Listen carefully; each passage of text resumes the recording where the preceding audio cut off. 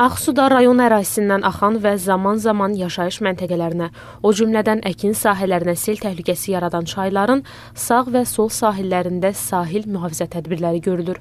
Ağsu çayının Abbasxanlı kəndi ərazisindən keçən hissəsində təhlükəli vəziyyət yarandığından burada qabyon bəndlərin tikintisi nəzərdə tutulub.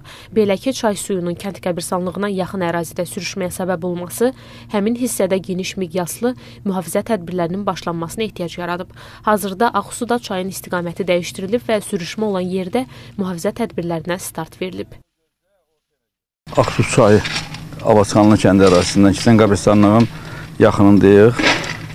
Gördüyümüz bu iş qabyon bənd tikintisidir. Dövlət tərəfindən layihələndirilib 105 metr uzunluğunda 14 pilləli qabyon bəndin tikintisidir. Beton istinad divarı verilib keçən ildən. İndi hal-hazırda qabyonların quraşdırılması və doldurulması işləri gedir. Yəni bu işlər baxmayaraq işdir. Mümkün qədər qısa vaxtda, yağıntılara qədər biz bu işləri görüb tamamlaya bilək. Abbasxanlı kəndində yaşayan sakinlər də kənd qəbirstanlığında yaranan təhlükədən son zamanlara kimi narahat olublar. Ancaq artıq problem kökündən həll olunur.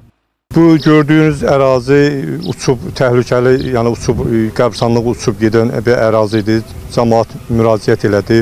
Burada bizim çox qədimi qəbirstanlıqdır. Burada bizim ölülərimiz, dədə babalarımızın qəbirləri yerləşir. Bu gün gördüyünüz kimi işlər gedir. Biz ümid edirik ki, yaxın günlərdə bu tamamlanacaq və bu problem aradan qaldırılacaq.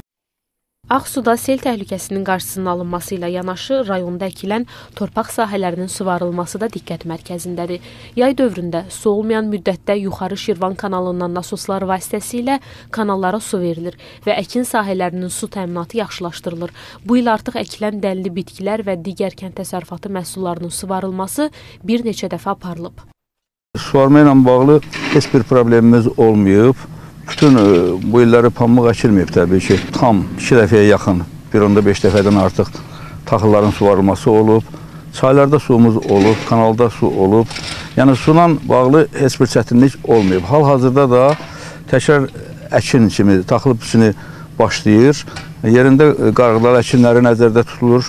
Sudan istifadə şöbəsi ilə müqavilə gəlib e, vətəndaşlar, fermerlər müqavilə bağlayır və tam əminliklə deyə bilərik ki, suvarma ilə bağlı heç bir çətinliyimiz olmayacaq.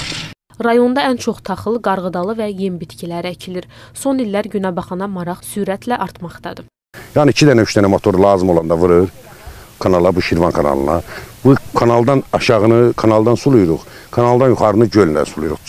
Doğanşir gölü deyilən bir gölümüz var. Oradan istifadə edirik, Ağsu çayından istifadə edirik. Yəni sudan heç bir problemimiz yoxdur. Qeyd edək ki, Ağsu rayonunda 37071 hektar suvarılan torpaq sahəsi var. Bu sahələrin suvarılmasında əsas rol oynayan torpaq məcralı kanallar beton üzlüyə alınır. Bununla da su itkisinin qarşısı alınmış olur.